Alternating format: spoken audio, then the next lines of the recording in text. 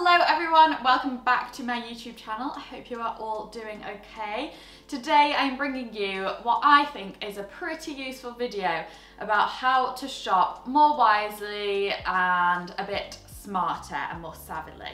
So I have nine tips that I personally use pretty much every time I shop, um, just so I don't lose track I save money, it's better for the environment, it's better for my wardrobe, it's not full of clutter that I don't want and I won't use. So I use these tips to really kind of hone in on shopping and so it's not wasteful in any way. So my first tip is today's sponsor, which is Shoptagr. So this little verse section is sponsored by Shoptagr. You'll know I have used them frequently and I've mentioned them in the past, worked with them in the past, and I use Shoptagr on my Chrome extension all the time, literally every time I shop. And it is a clever app to ensure that you never miss a price drop, never miss a coupon code, and you also have everything kind of um, sectioned together so you don't get too distracted by other purchases. You can kind of create your own mood board or shopping board and really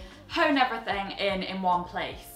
So personally at the moment I'm shopping for loungewear, really nice pieces, maybe some quite luxe material that'll stand the test of time and I'm using Shoptagr just to gather all those pieces in one place for one and also check if there are any discounts on those pieces. So what I've been doing is when I've been shopping for those pieces, um, saving them all to one board in Shoptagr and then making sure Shoptagr notifies me if there's any price change that way I'm not just kind of impulse buying for one and also if I just wait a little bit I might get a really good discount on it. What I'll do now is just show you a quick demo of how to use Shoptagr. It's so easy to use.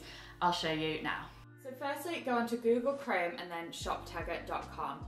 The link will be in the description box of this video and press the Get Shoptagr button.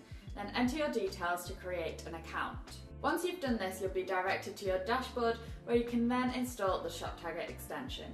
Simply press install and then you can add it to your Chrome. Press add extension and you can pin it to your browser.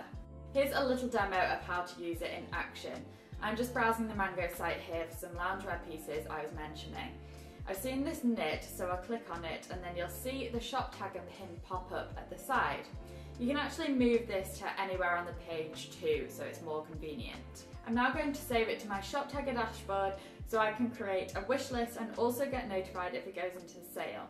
Click on the button, select your size, and I'm going to ask to be notified if there's any price change at all. I'll also save it to my loungewear list so that I have everything in one place and I can compare and contrast favourites. You can use Shoptagr in Google Chrome on your mobile. Once installed, you press the box with the arrow in it and Shoptagr will pop up. When you find an item you like, you can save it straight to your Shoptagr here. You'll then get an email or a mobile push when an item you save goes on sale, has a relevant coupon, or comes back in stock.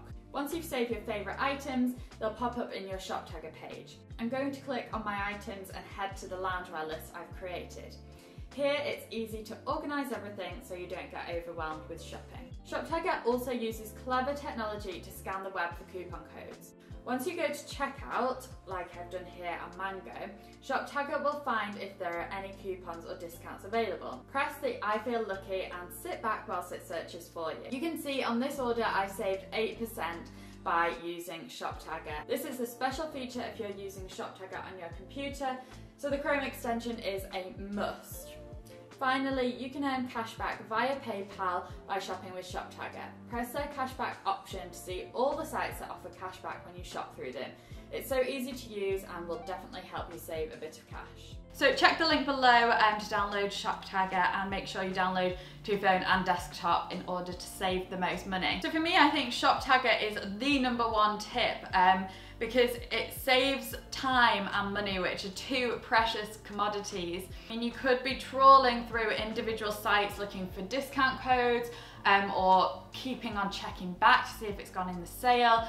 And Shoptagr will just notify you. It just makes life so much easier. So that is tip number one, probably the most important for me. Tip number two, which kind of goes hand in hand with this, is avoid impulse purchasing. I sometimes I really can get like a magpie and I will be so attracted to something, especially if I'm in a store. I know we're not in stores. Well, here in the UK, we're not in stores at the minute, but Hopefully at one point we will be soon, um, but I can be in a store and get really attracted to something that just looks so, I don't know, attractive on the eye and I'll get really drawn in by that. But I have to put my foot down and tell myself no because often those pieces that are the magpie pieces, I mentioned this before, are the ones that aren't really things that we're gonna wear that much. So avoid impulse purchasing. You really need to go away and have a good think about that piece because you don't want wastage in your wardrobe. I think this is what the video is all about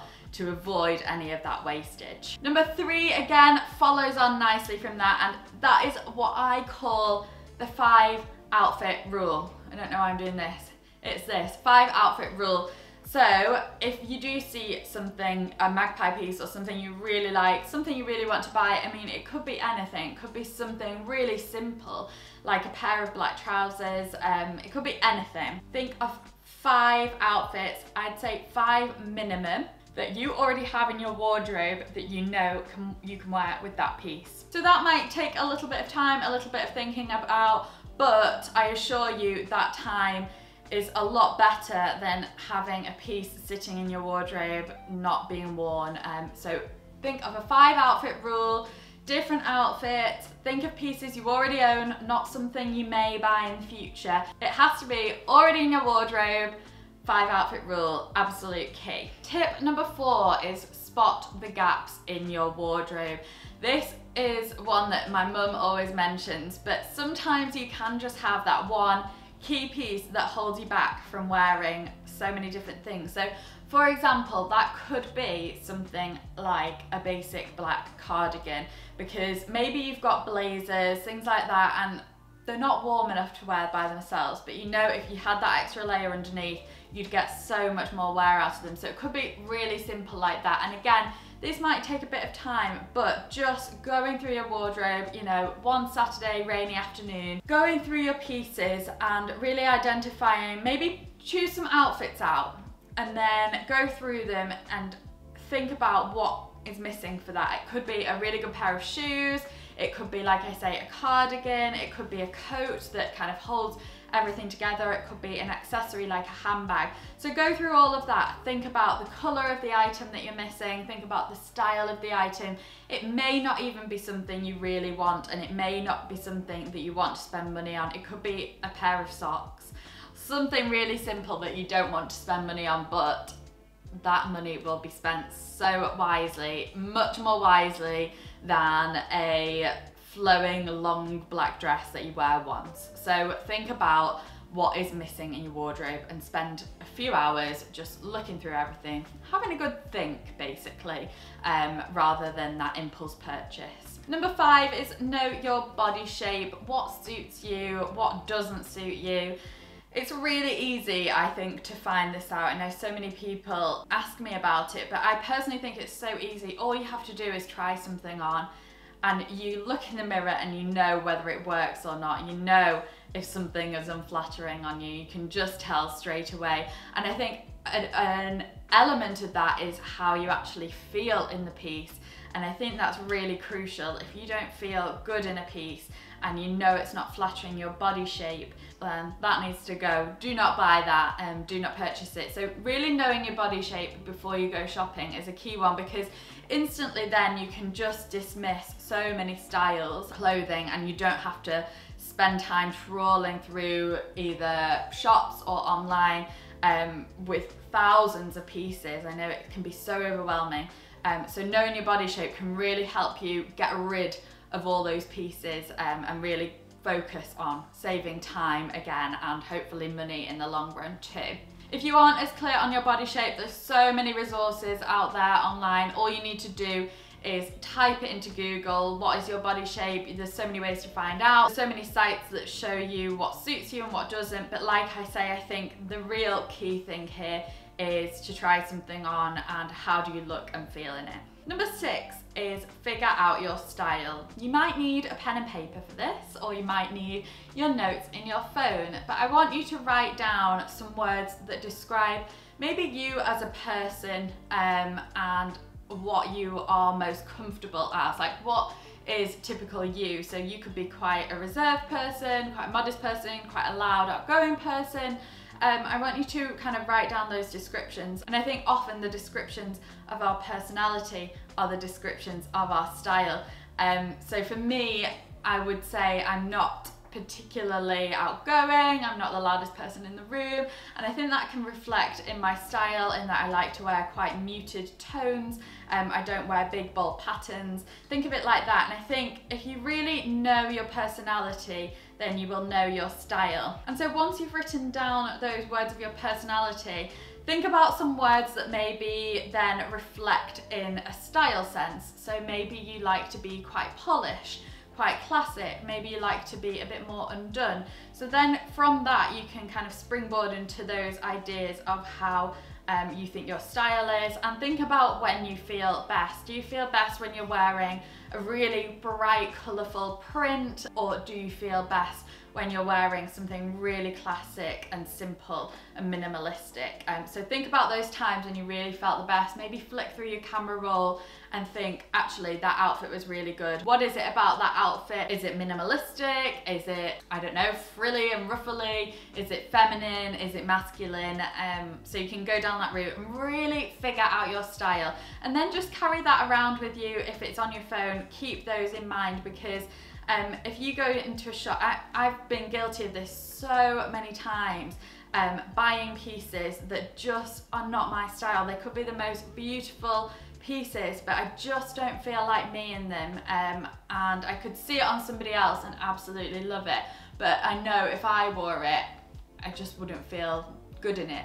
Um, so really keep that with you and keep those ideas in mind because otherwise you'll probably buy a really, really nice piece but you'll never wear it because it's just not you. Tip number seven um, is budget. So work out your budget. You don't want to go in blind shopping. There's nothing worse than that. It can be so overwhelming. Like I say, there's thousands of pieces online and knowing your budget, I think, is a key one to honing it right down. And I think knowing your budget as well also falls quite nicely in with prioritizing um, what do you want to spend a little bit more on. For me, that is accessories. Um, I personally like to spend a bit more on bags. And then for slightly more trend-led pieces, I'll buy more affordable things. So um, I balance it like that and just really set a budget. Maybe go through your um, spending budget for the month, not just for clothes, I mean um, for everything, and then work out kind of backwards from there what you can afford to spend on yourself.